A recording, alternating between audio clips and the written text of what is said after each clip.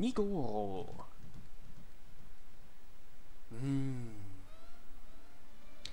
Vor einer langen Zeit, bevor die Menschheit existiert hat. Ja. Ein bisschen schneller, wenn es geht. Na, was war denn da? Ja, Nigoro präsentiert. Eins der geilsten Spiele ever überhaupt jemals OP. Äh, geht es denn noch weiter? Ähm, Descending ist eigentlich so herabgestiegen. Auf diesem Platz kam sie vom Himmel. Wer ist sie? Äh, eine auf diese Welt. Gefangen, nee, alleine gefangen weint sie.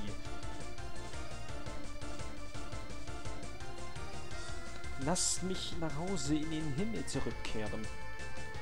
Das ist, wo ich hingehöre. Kinder, bitte helft mir. Kinder, schickt mich zurück nach Hause. Kinder, für diesen Grund wart ihr geboren. Da hört man's. Das ist der Tag, an dem die Menschheit geboren wurde. Und als sie sie geärgert haben, wurden sie zerstört. Nach sieben Zeitaltern der Zerstörung beginnt die Geschichte von vorn. Scheint nicht zu spaßen zu sein mit dieser mysteriösen Frau, nicht? Wenn die einfach mal die ganze Menschheit ausrottet, wenn sie ein bisschen ärgerlich ist. Nicht ganz einfach. Und es handelt sich in diesem Spiel um La Mulana. Die geremakte Version. Was heißt geremaked? Ist eigentlich ähnlich wie das Originalspiel, aber halt bessere Grafik. Die Musik ist ein bisschen moderner und so. Ganz gut. Ähm, ich habe noch gar nicht ins Spiel reingeguckt. Also ich habe das Spiel schon mal durchgespielt. Ich, ähm, endlich erreiche ich La Mulana. Das Abenteuer beginnt hier. Okay, wir sind dieser Pimpf oder was auch immer hier. Nemesa irgendwas heißt er. Und ich merke schon, dass ich so die Steuerung nicht haben will. Wie springt man denn? Wie springt man? Wie pausiert man? Moment. Config ist die 9. Äh, sollte ich mal gerne ändern. Jump, ja, auf Z ganz bestimmt. Oh. Ach so, ähm. Das soll Springen sein. Hauptwaffe, Nebenwaffe, Item benutzen, kommt hier drauf. Nächste Waffe, äh, mach jetzt einfach mal so, so, so, so.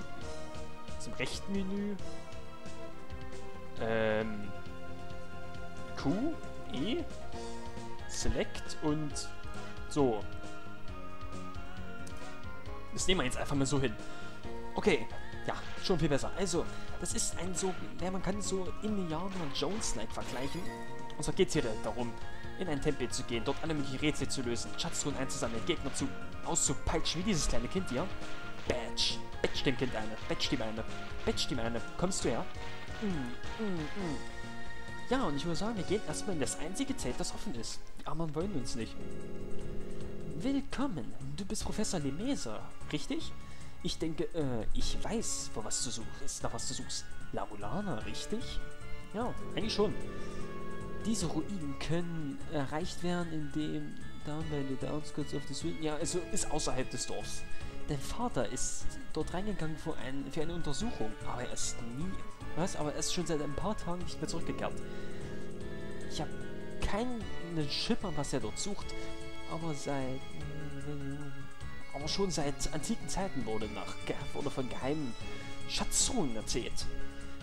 Äh, verdammt, ihm der Ursprung des Lebens mag in diesen Ruinen sein. Generation auf der äh, Generation nach Generation haben wir Lamonana beschützt. Äh, okay.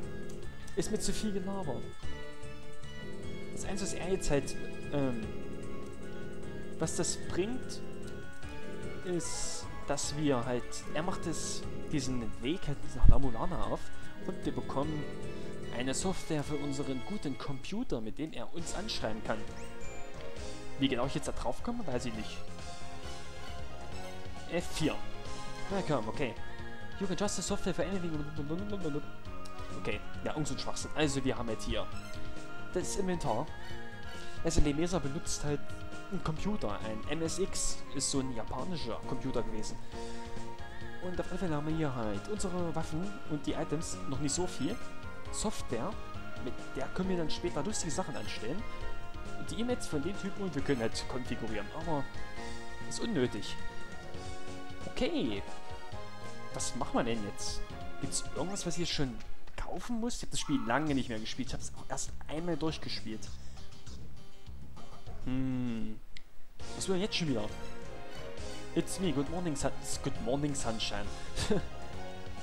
okay, erklärt mir, wie ich ein Gewicht benutze, weil sie auch schon immer noch unten drückt. Das werde ich bald demonstrieren.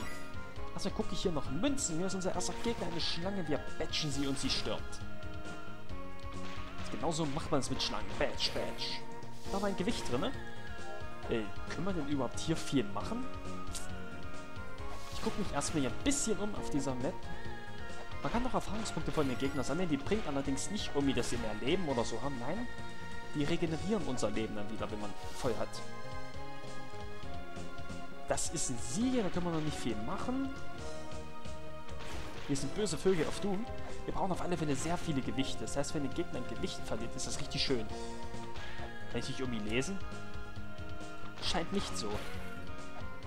Äh, okay, hier können wir noch nicht machen. Ist ja schon ein bisschen her, ich habe das einmal durchgespielt. Und das wird ganz interessant. Äh, eine Legende sagt, dass Argus, das Monster mit dem blauen Körper, das ähm, voll ist mit Augen, ist schwach gegen den äh, Schlangenstab. Ja, Argus ist der Tunnel links. Wir brauchen den Schlangenstab, um den kaputt zu machen. Haben wir noch nicht. Also können wir gegen den auch noch nicht viel ausrichten. Gibt es noch ein paar Münzen? Nee. Okay, scheint es, als ob es hier nicht mehr viel gibt. Und irgendwas konnte man noch machen am Anfang. Ich brauche so einen Handreader. Wo kommt man den denn her? Bin ich mal gespannt. Okay, der erklärt einem, das links ist so ein Brunnen. Wenn man dort reingeht, kriegt man seine Leben wieder aufgefüllt. Das weiß ich schon. Was ist das? Yahoo Map Reader. You can save maps of the ruins with it. Das nehme ich jetzt einfach mal. Was macht das? Cliff Reader with this. You'll be able to den brauche ich. Ne, warte mal. Nicht um... Also schon, den brauche ich, um später ähm, Inschriften zu identifizieren. Eigentlich dachte ich so... Das ist ein Schild. Nee, danke. Was macht das? Waterproof Case, das ist ganz praktisch. Und die Pistole brauchen wir auf alle Fälle noch nicht, weil die Munition dafür sehr selten ist. Aber es ist ja die stärkste Fernkampfwaffe. Ich frage mich gerade, mit diesem Handscanner, genau den meine ich doch. Handscanner. Den nehme ich. Ja, mit dessen Hilfe... Ja, gut, er sagt es uns wahrscheinlich. Ja, ja, ja, ja, ja, ja, ja, ja, ja, ja, ich verstehe schon. Muss man den ausrüsten noch? Ja, ne? Gut, den haben wir jetzt ausgerüstet und damit kann ich jetzt, wenn ich V drücke, jetzt so Sachen lesen. This is a Holy Grail Tablet. Das ist ein heiliger Gral, so eine Tafel halt. Das ist auch ganz interessant. Ähm, später, wir haben hier im Spiel, das später, relativ früh, einen heiligen Gral Mit dem können wir uns von diesen Safe, diesen Teleportpunkten ausporten. Dafür dienen die. Um in die verschiedenen Areale der Höhle zu kommen, also von Ramonana. Und das heißt, wir brauchen 50 Gold, um uns den Cliff Reader, diese Software zu kaufen. Die wir nämlich auch unbedingt brauchen und das Gewicht ist darunter gefallen. Toll! Ist ja nicht so, als ob ich alle möglichen Gewichte brauchen würde. I got a map and I was looking as I walked. Okay, ist nicht Ich habe eine hab ne Karte gefunden und, und äh, als ich geguckt habe, was und was looking as... So, und ich habe dort reingeguckt, als ich gelaufen bin. Da bin ich gefallen. Und naja, bin irgendwie gestorben. Vielleicht ist das gar nicht mehr so lustig. Wir haben die Map bekommen. Ist die auch irgendwo hier? Wie sehe ich denn die Map? Wie sehe ich die Map? Ach, mit F1. Okay, das ist Surface. So sieht diese Oberwelt aus. Stopp. Äh, nein, nein, nein. Nee, hat es getroffen. Okay, wir töten erstmal den ganzen Gegner hier. Schön noch ein Gewicht. Und jetzt ist hier so ein Pedal. Wenn wir da ein Gewicht drauf legen, versinkt das.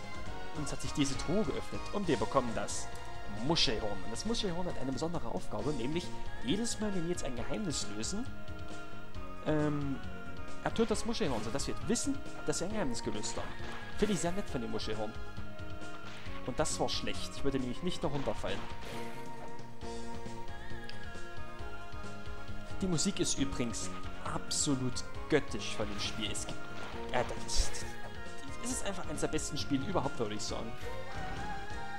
Es gibt dieses Düdi, aber halt, weil wir eben das gelöst haben. Gab es ja nicht irgendwie was? Genau, das wusste ich noch. Death Village. Death Village macht was? Nigorus vs. Flash Game. In this puzzle you lead a man to a haunted house. Äh, schön. Man kann halt später diese, äh, mehr als, also, man kann halt verschiedene von diesen Softwares ausrüsten und in einer gewissen Kombination machen die manchmal was Besonderes. Wie genau das ist, weiß ich auch nicht mehr. Bin ich auch ganz ehrlich. Hui, Schmauch. Und haben uns geschmissen. Kann man das hier identifizieren? Ja. Okay. Ja, es wird hier schon etwas mysteriöser.